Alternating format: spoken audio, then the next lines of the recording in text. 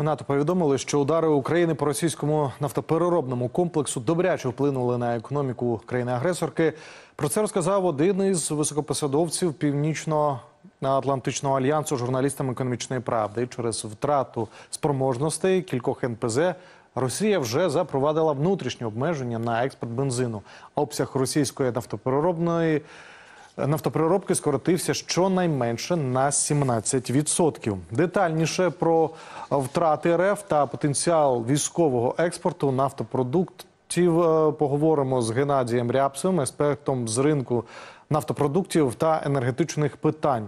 Я вас вітаю в нашому ефірі. Вітаю вас.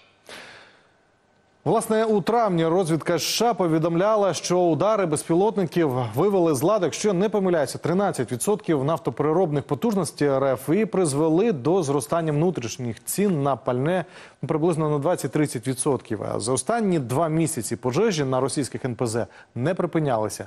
Але чи погіршилася для окупантів ця статистика чи ні? Е, На жаль, для того, щоб е, ця статистика була е, суттєвою, щоб вона вплинула на ситуацію безпосередньо на лінії фронту, потрібно завдати щонайменше ще з десяток таких ударів, тобто вивести з ладу щонайменше 20 нафтопереробних заводів на європейській в європейській частині Російської Федерації. Лише тоді можна буде розраховувати на суттєві втрати, які можуть позначитися на постачанні нафтопродуктів, передусім дизельного палива на лінію фронту. Проте ті удари, які вже було нанесено, вони суттєво вплинули на логістику постачань е, і на ціну тих нафтопродуктів, які е, потрапляють, е, в тому числі для сил е, оборони е, для сил е, збройних сил Російської Федерації. Пане Геннадію, а от загалом чи реально такими методами досягнути, щоб ситуація з пальним стала для росіян критичною? Так, безумовно, якщо ці удари будуть тривати. Е, Хоча останнім часом ми більше бачимо в основному удари по е, інфраструктурі зберігання нафтопродуктів е, безпосередньо е, вздовж лінії фронту на території Російської Федерації. Менше стало повідомлень про враження безпосередньо установок первинного перероблення нафтової сировини. Хоча, е, як на мене, це найбільш є ефективним, е, якщо йдеться про удари саме е, спрямовані на зменшення кількості дизельного палива та авіаційного газу, які можуть постачатися для потреб збройних сил Російської Федерації. Зараз ми бачимо поки достатньо суттєві проблеми пов'язані з логістикою постачання, і ми бачимо високу конкуренцію за нафтопродукти, зокрема за дизельне паливо, між е, Міністерством оборони Російської Федерації та е, сільськогосподарськими виробниками, зокрема на півдні е, Російської Федерації. От ви кажете, що е, ускладнилася логістика у росіян для того, щоб постачати пальне, і власне вже йде конкуренція. Да? І таке не те, щоб конкуренція, а боротьба за паливо. А хто зараз найбільше страждає у цій боротьбі за паливо? Армія Російської Федерації чи цивільні? Ні, ну звісно, що е, те, що постачається армії, нічого не буде зменшуватиметься, то е, зменшуватись. Тому е, страждають безумовно цивільні, на них ніхто не звертає увагу. І, власне кажучи, те, що продовжено е, термін обмежень на торгівельні операції з бензином, зокрема, продовжено заборону на експорт бензину, свідчить про те, що ситуація дійсно є е, складною, і ситуацію варто погіршувати для е, російських загарбників. Я думаю, що Служба безпеки України, служби спеціальних операцій зроблять все для того, щоб не зупинятися на досягненому. Пане Геннадію, тут дуже важливе питання: а чи здатні росіяни швидко відновлювати от пошкоджене? Я маю на увазі нафтопереробні оці от е, ресурси, їх устаткування. Чи можуть вони швидко це відновлювати? Ні, не можуть, тому що існують західні санкції, які позбавили Російської Федерації достатньо великого переліку обладнання, потрібного для відновлення роботи нафтопереробних підприємств.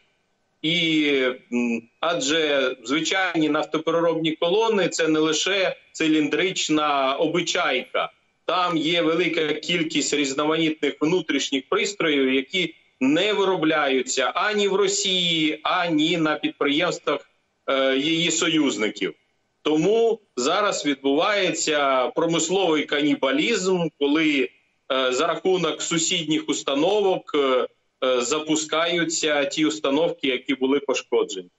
Тобто виходить, що е, якщо там е, кілька разів вразити якусь е, НПЗ, то вона взагалі може вийти з ладу.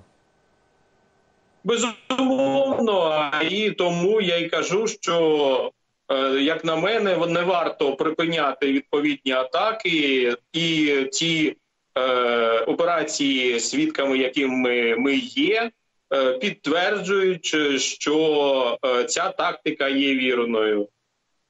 Видання Bloomberg оприлюднило таку дуже цікаву статистику. Е, Кажуть, що за тиждень до 7 липня тижневий експорт російської нафти впав найбільше з моменту вторгнення в Україну у 2022 році. Що тут стало основним фактором? Ну, я б не сказав, що е, варто звертати увагу на е, показники, які е, обмежуються тижнем або декадою. Варто звертати увагу на е, піврічні і річні показники. Так, дійсно, експорт російської нафти і нафтопродуктів скорочується, проте він, на жаль, є недостатнім для того, щоб це позначилося на фінансуванні е, агресійних е, е, агресій, власне кажучи, війни в Україні. Пане Геннадію, а яка у нас ситуація з пальним? Розкажіть, будь ласка. Е, Ситуація з- в Україні з пальним достатньо є стабільною. Е, Нафтопродуктів усіх вистачає. Е, По дизельному паливу навіть спостерігається певний профіцит, тобто надлишок пропонувань. Е, Ціни зараз е, майже не змінюються. І цьому сприяє якраз наявність великої кількості пропонувань на європейському континенті та достатньо стабільні е, е, рівні е, е, гривні відносно е, долара Сполучених Штатів та євро на міжбанківському ринку. А як ви вважаєте, чи впливають плани уряду щодо збільшення акцизу на пальне на ціни на заправках вже зараз? Ні, щодо е, цих планів, вони можуть бути реалізовані лише в тому разі, якщо буде проголосовано в цілому е, законопроект, е, який зараз е, наявний в Верховній Раді. Але навіть якщо це і відбудеться, то в змінах до цього законопроекту поступове підвищення акцизів розпочнеться лише з 1 вересня цього року. Отже, ані в липні, ані в серпні цей чинник жодним е, разом ніяким не буде впливати на рівень роздрібних цін. Як ви вважаєте, чи є сенс відкласти цей законопроект ну, на певний час, розгляд цього законопроекту? Ну, якщо чесно, то якщо його ухвалить, це буде порушенням е, податкового кодексу, митного кодексу і низки законів України, які не дозволяють змінювати рівень і кількість податків е, посеред е, року, е, за виключенням 1 липня і 1 січня. Тому логічнішим було б заради, хоча б дотримання українського законодавства, розпочати відповідний процес е, з 1 січня 2025 року. Але цей процес є необхідним, оскільки гармонізація акцизів є однією з наших е, зобов'язань е, під час е, підписання угоди про асоціацію з ЄС. Дякую вам дуже, пане Геннадій, за цю розмову, за те, що ви знайшли можливість доєднатися до нашого ефіру. Гарного вам вечора. Нагадаю, це був Геннадій Рябцев, експерт з ринку нафтопродуктів та енергетичних питань.